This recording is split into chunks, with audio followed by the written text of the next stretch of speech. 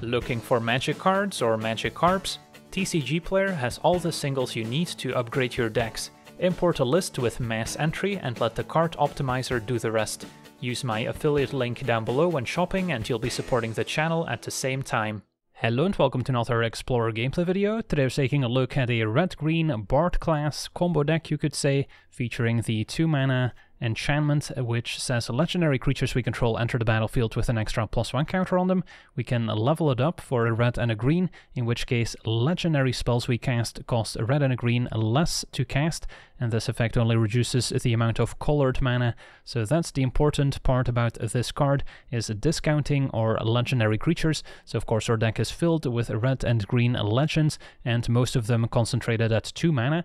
We've got Targnar, the Bodyguard, Gallia, and then at 2 mana there's also Magda and Goro Goro, which we can still cast for 1 mana with a Bard class out. So that leads to some very explosive turns, since we can also count on Burning Tree Emissary, despite not being legendary, can still add red and green. So turn 2, best case scenario, play Burning Tree, play Bard class, and then on the following turn level up, and then empty your hand of all these 2 mana legends, including Magda and Goro Goro if we have an extra mana left over.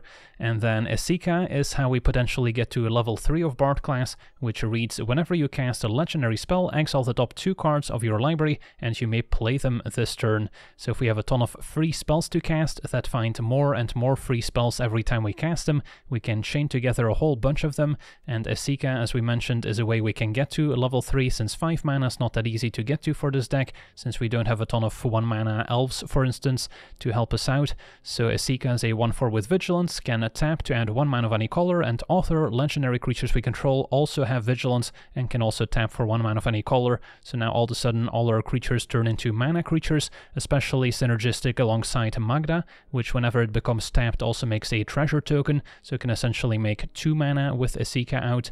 So that's how we can set up a level 3 Bard class, and then the last piece of the puzzle is a mirror box, which says the legend rule doesn't apply to permanents you control, legendary creatures get plus 1 plus 1, and then non-token creatures get plus 1 plus 1 for each other creature we control with the same name same as that creature. So the mirror box allows us to have multiple of the same legendary in play at the same time. They will also get bigger over time the more of them we have in play. And Magda also becomes extra synergistic because now can make more than one treasure every time it becomes tapped. If we have multiple copies of Magda in play, it can make more mana and it becomes trivial to cast a whole bunch of these legendaries for free in the same turn as we go off with a level 3 Bard class. And then we also have the partners as a nice curve topper, which can also give one of our creatures extra plus one counters and haste. And between the Bard class putting a counter on partners and Mirror Box giving it plus one plus one, it can add even more counters to another creature. So that also synergizes quite nicely. And then some of the legendaries we've covered, Targnar can pump the team with pack tactics, can also double its own power and toughness if we pay for mana. There's the Bodyguard, a recent addition that can protect our legendaries. If we sacrifice it, gives them indestructible and 1 extra power until end of turn. Then there's a Gallia, which also definitely benefits from Burning Tree being in the deck, since we're more likely to be able to play 2 creatures on turn 2, and then turn 3 maybe already play Gallia, attack with 3 creatures, and then we'll be able to discard a card at random and draw two cards, so provides a bit of card advantage to help us dig towards the missing pieces and then we've got uh, Magda making treasure, and then Goro Goro, also very useful at giving the team haste. So if we manage to combo off with our level 3 Bard class, we end up with a ton of creatures in play. They don't necessarily get to attack right away, so Goro Goro can give those haste. And then if we pay 5 mana, we can also potentially make a 5-5 Dragon Spirit if we're attacking with a modified creature, which we can do so pretty easily thanks to Bard class putting plus 1 counters on them, and then Esika giving the team Vigilance and letting them tap for mana means we can potentially attack with our team, and then still tap all our creatures for mana to activate Goro Goro to make that Dragon Spirit token. And uh, the mana base also includes two copies of Den of the Bugbear, and then the channel lands also get a nice discount from controlling our legendary creatures, so those are also valuable additions, and then just need lots of red-green dual lands, only 22 lands since we don't really need a ton of mana in the first place, ideally just get to 3 lands and then find an Esika, so our legendaries can tap for mana. Sometimes we can also cast Prismatic Bridge if we have another Esika in play, since then our legendaries can make blue and black and white mana as well, well, so that could be a reason to replace some of the basic lands with additional pathways to potentially make it easier to cast Prismatic Bridge, but for now I'm happy with this setup. So yeah, let's jump in some games and see how the deck does. Okay, we're on the draw. Our hand is missing a Bard class. Does it have enough to be a keeper? I think so. Burning Tree and then Esika, hopefully on the following turn. Can still give us an explosive start. Opponent on a zombie graveyard deck, okay. So we have double Burning Tree now. Still need a third land for Esika. And there's an early Champion of the Perished, which is gonna pick up a counter right away, thanks to Shambling Ghast.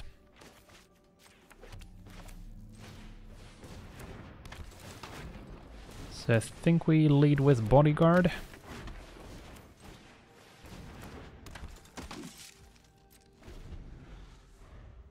And then hoping for a Forest to play Esika. Eaten Alive deals with our Bodyguard. Does not protect our Burning Tree, sadly. Opponent's got one card left, so we're not under too much pressure, we may have time to find some more answers. We'll go for Esika.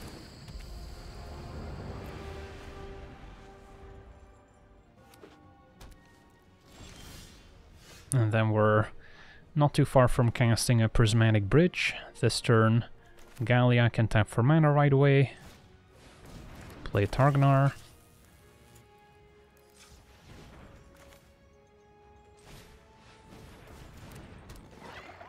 And pass. Servants, okay. So if they can bring back a bunch of zombies at once from the graveyard, that can trigger couple times. So we'll play Prismatic Bridge, we'll have to tap all our legendaries to do so.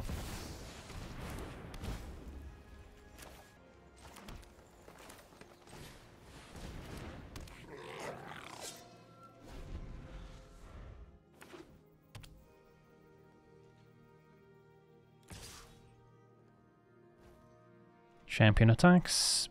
A bit of a strange attack, but uh, sure, I'll take it.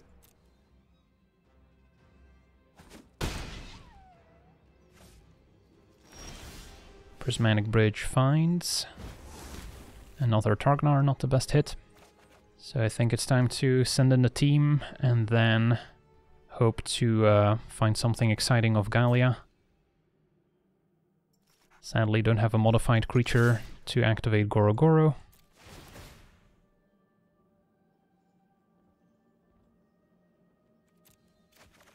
Got a replacement. You would think adding one power to each creature counts as a modification, but sadly does not. Has to be an equipment or a counter. So they can trade for most of my board. Uh, can double its power and toughness, so that works.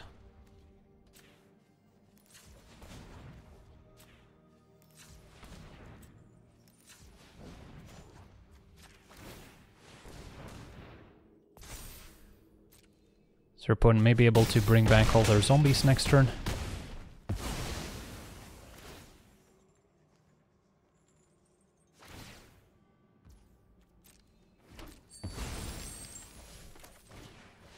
For now play Disciple and pass it back. Keep a land in hand in case we find another Gallia. It's gonna be a Diregraf Colossus, that's fine. Pretty large as an 8-8. But we can maybe go wide enough. Take 5 from Champion. Whatever we find off Prismatic Bridge, we can also give haste with our Disciple. And a Partners is excellent. Then we'll still be tapped. So, give our creatures haste.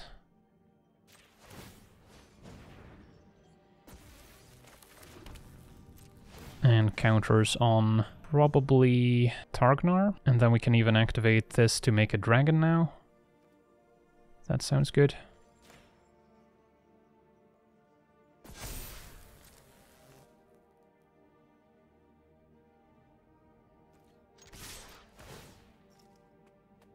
If our opponent has a Rally the Ancestors, they could still cast it for one. And yeah, there it is. So, bring back Double Shambling Ghast and Stitcher Supplier as extra blockers.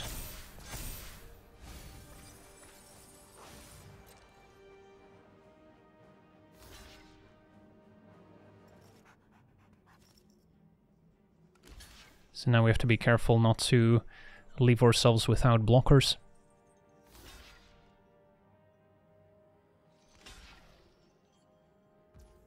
Okay, so tap these for mana. And uh, let's see. These are all gonna survive still. So I guess we'll make a dragon here. Let damage happen.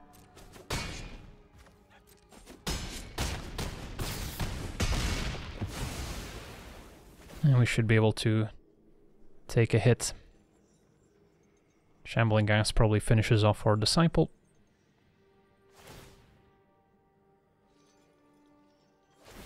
And a Burning Tree. So pretty good rally. The creatures did not get exiled since they died. But we may still be able to get there next turn with Den and with our Flying Dragon. So have to jump one of their creatures. And I guess we'll make it Targnar, keep the dragon. Although Targnar pumps the rest of the team, which is pretty huge with Den. So we may still get more damage out of it. So we fall to one. Definitely dead to another Rally the Ancestors. It's gonna be a Rite of Oblivion, exiling Targnar. Okay, do we still get there with Den? I think we do. And then we can even uh, channel Crucible, although may not have enough mana for that just yet. So I have two legendaries, this will cost two mana to channel, so I guess that's still worth it.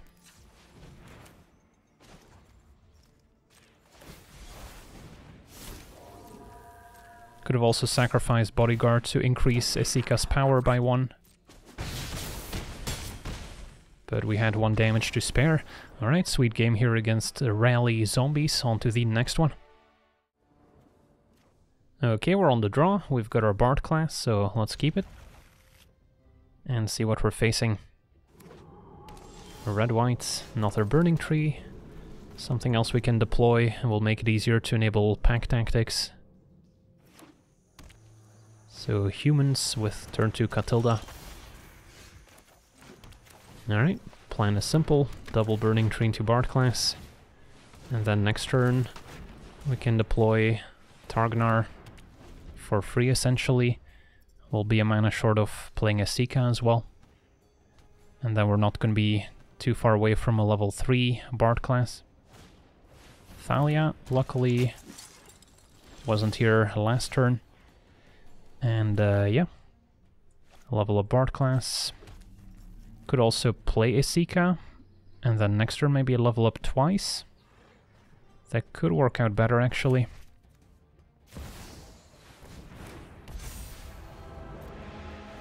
Can't attack into Thalia, so definitely need that level 3 Bard class to take over.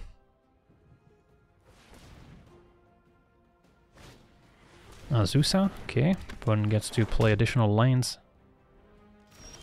but they don't have any. So level up.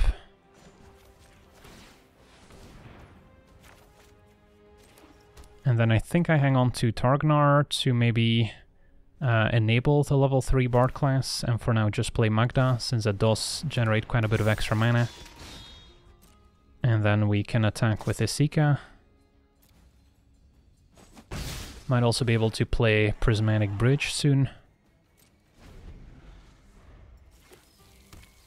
Uh, land number three. Opponent's got six mana, basically. Golos, okay. What does that find? Just a try land. And we get to untap, and now we should be able to have a pretty explosive turn. So let's say we tap Magda. Could also maybe wait until we find another Magda so it makes more than one treasure. So we'll tap Esika first. Level up. Play a free Gallia. Haven't played a land for the turn yet. Sadly, we'll struggle to play a mirror box. Another Targnar. So, if I tap Gallia for mana, play an untapped Stomping Grounds, and then now if I tap Magda, we will actually have 4 mana to play Mirror Box. So we're giving up on partners for the time being, but it allows me to play another Targnar. And that's going to be it for now. Pass it back. And then we still have another Esika we could play, which will now stick around thanks to the mirror box. Jodah makes a lot of sense too. Your opponent also a legendary deck, just a different variety? Don't know if they have any great attacks.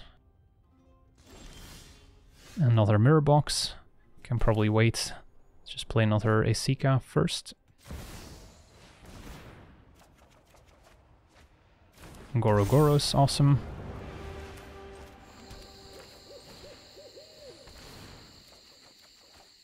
Another mirror box.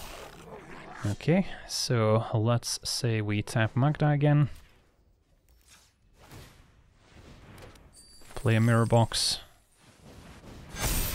Can still give the team haste with Goro Goro. Would we have enough for lethal? Opponent's got four blockers, and then they can also potentially First strike and kill a legendary to shrink it down, so no longer gets a mirror box bonus. We can also tap our creatures for mana, so every Targnar can double its power. So those are all quite threatening. And then Gallia could even potentially improve our hand afterwards.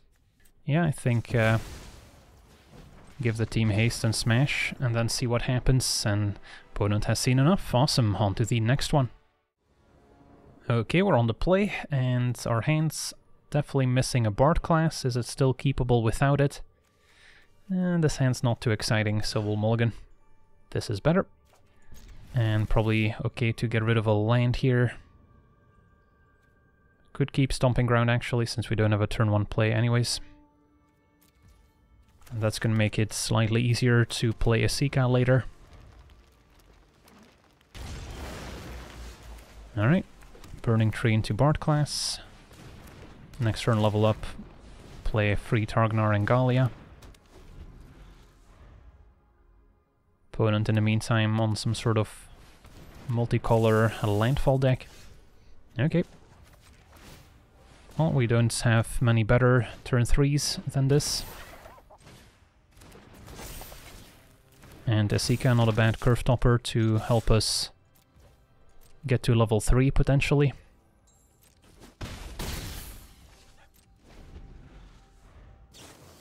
opponent with a growth spiral after playing a turn 2 Cobra. So we could see some fireworks from our opponent as well. At least the bodyguard protects us from any sweepers.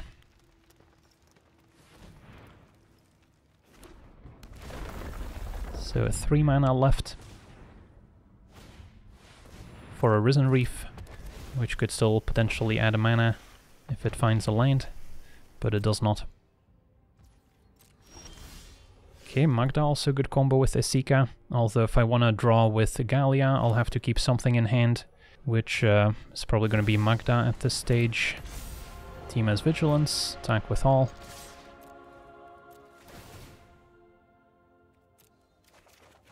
Not the best set of draws, but a second Bard class can still come in handy. Opponent jumps with Risen Reef, falls to 4 think I'll hang on to Burning Tree since we should have enough in play already. Just play another Bard class. And pass.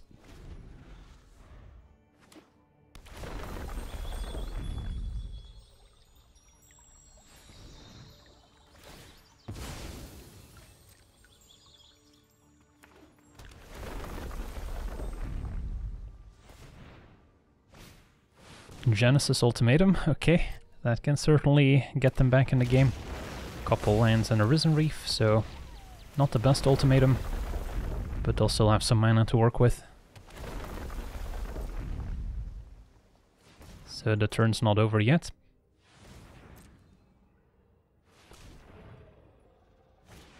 Another Risen Reef. So on the board they seem dead, but if they find a couple more lands they can make more mana. But yeah, that wasn't quite enough. On to the next one. Okay, we're on the play, decent hand. Although a double rockfall I guess is a little awkward here. But I think we still keep any other lands and we're off to the races. And since we're on the play, even if we have to wait an extra turn, it's not a disaster. Our opponent on blue-white spirits, it seems.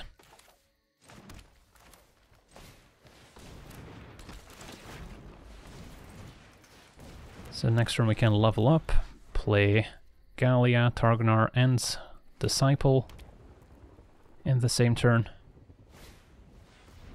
Opponent goes drawing with a Curious Obsession. So, yeah, an extra land means I can also give the team haste right away, which could also come in handy. Bodyguard, another one we can play for free. Opponent may have a counterspell, Lofty Denial, that's fine. Not sure which of these exactly was the most valuable, if I could pick which one they countered.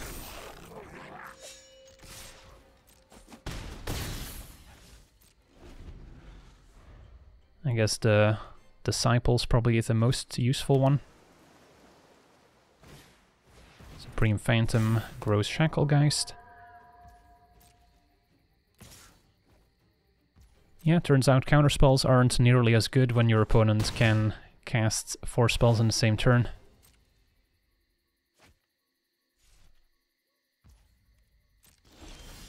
Another Bard class I'll probably leave to the wayside.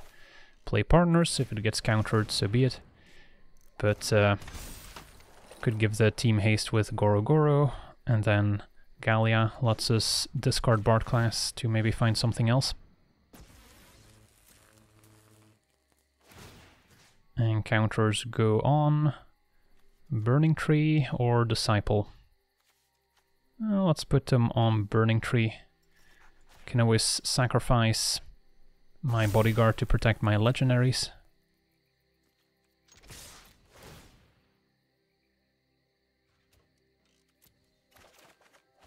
Replacement Gallia. And a Rattlechains flashed in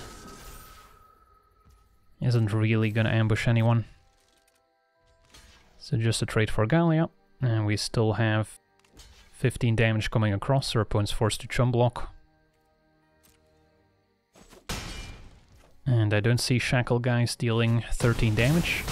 We've got Bodyguard in case our opponent's somehow playing a Sweeper, which I highly doubt. So, sure we'll play Gallia while the opponent's tapped out.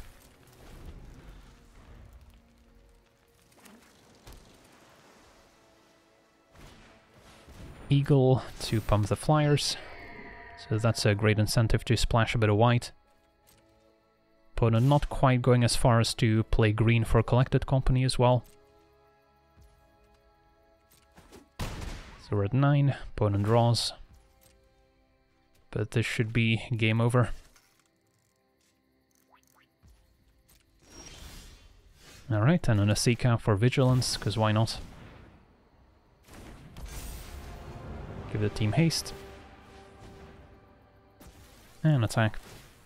So now we could have also potentially activated Bard class to level 3.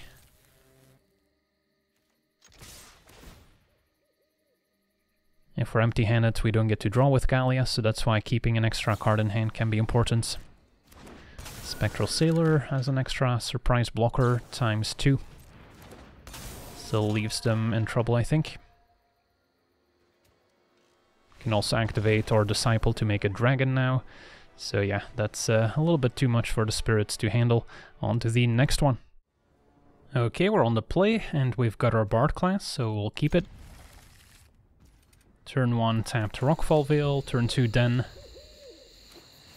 Up against a green-white enchantment deck, so they may have answers to Bard class, although we just drew a backup.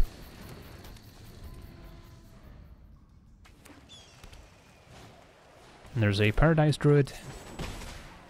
So it may also be a kind of an aura deck, playing a hexproof creature here that they can uh, load some auras onto. For now, activate a Bard class, free Targnar, and a 1 mana Goro Goro. Next turn we can play partners, even give it haste with the Goro Goro if we'd like. Audacity, first of many auras.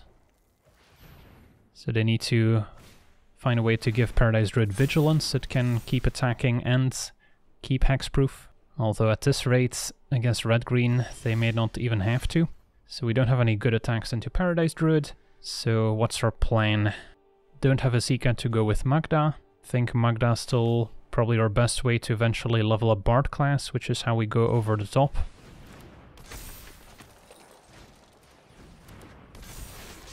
So could attack with a hasty Magda just to get a treasure. Doesn't feel great.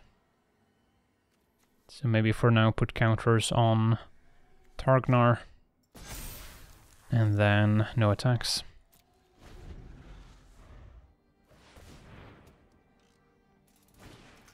Another Audacity. And there's a Sentinel's Eyes for Vigilance, so they can attack and block. 15 power first strike, there's no way we can block profitably, so somehow have to win next turn. Burning Tree is not going to help with that. Yeah, think we're dead. Can play a Mirror Box. Send a team.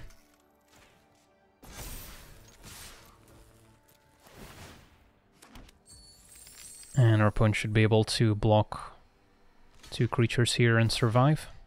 We did get pretty close. If it weren't for Generous Visitor, I guess we would have gotten there. Alright.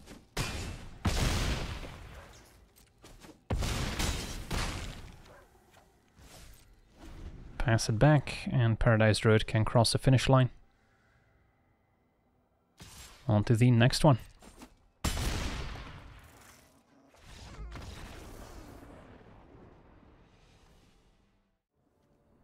Okay, we're on the play. We've got a Bard class, so yeah, I'm keeping.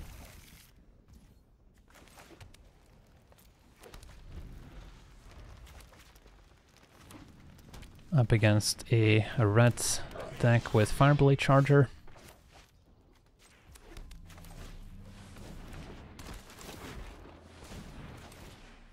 Next turn we've got a free Targnar coming up.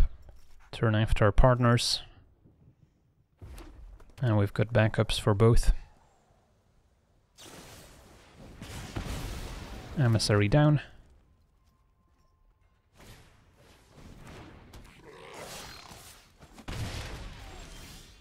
And another partners, alright. A mirror box would be pretty decent now. So opponent may be playing a Goblins deck, which is a matchup that should be winnable if we can kind of go over the top of their synergies, but the Bandit Lord's one of the better ones. So, yeah, I'll uh, block and let them trade for it, since we have another one anyway.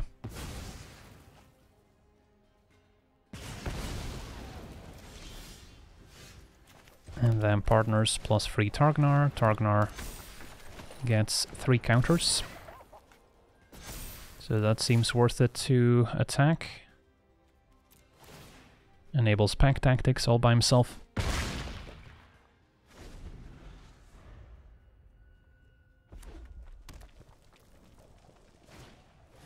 Battle cry is always good. Can they attack past partners is a question.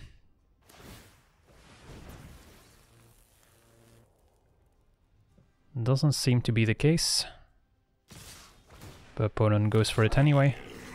Kill the Lord, I think, over Battle Cry.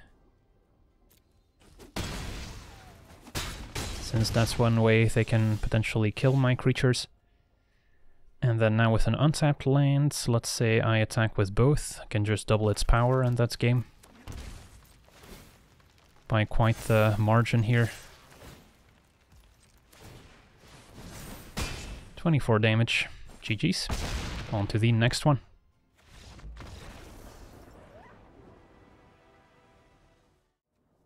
Okay, we're on the play. We've got our Bard class and a decent hand, I would say.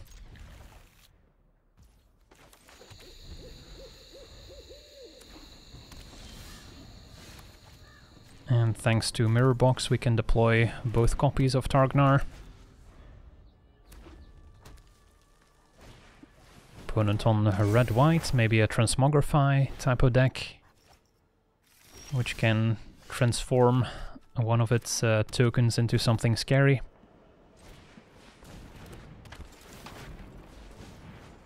Let's go to level 2, play Magda, play Targ Nar.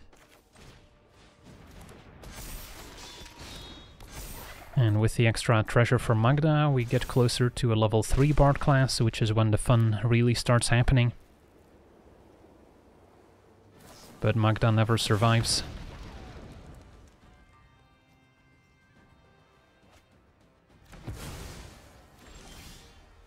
Okay, so Disciple versus Mirror Box plus Targ Nar. Mirror Box plus Targ Nar has to be better.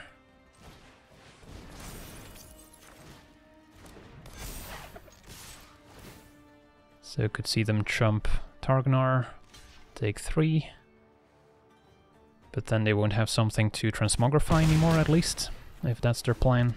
And Fire Prophecy is typically played in these transmogrify decks. A lithoform engine, okay, now I'm curious. Although we may not get to find out if we kill our opponent here. So we get two Targ Nar triggers, Sadly missing the land to double their power, which would definitely be lethal.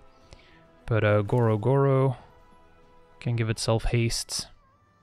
Seems uh, good enough here.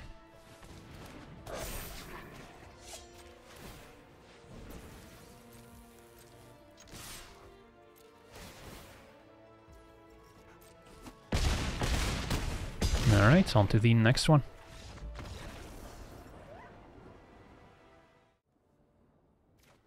Okay, we're on the draw, and while we don't have a Bard class, this may still be good enough. Emissary plus Magda, and then on the following turn we can already maybe draw with Gallia. Opponents with a turn 1 island.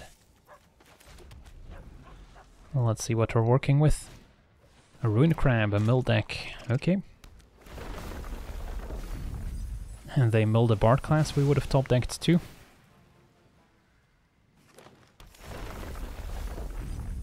And there goes another one. Alright, Burning Tree plus Magda.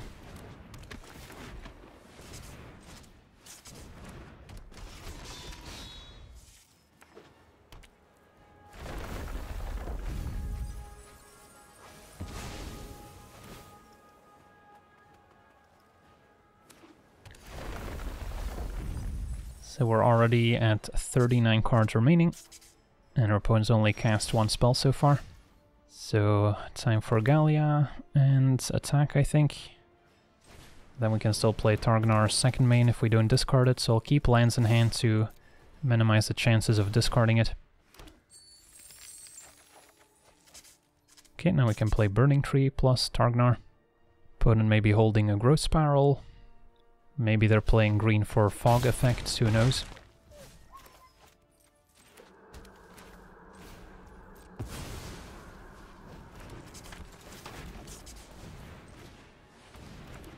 So we're assembling a nice army. Targ Nar can pump everyone to attack past Ruin Crab, and Gallia keeps sculpting our hand in her own special way. Mimic to copy Crab. Do we see another fetch land?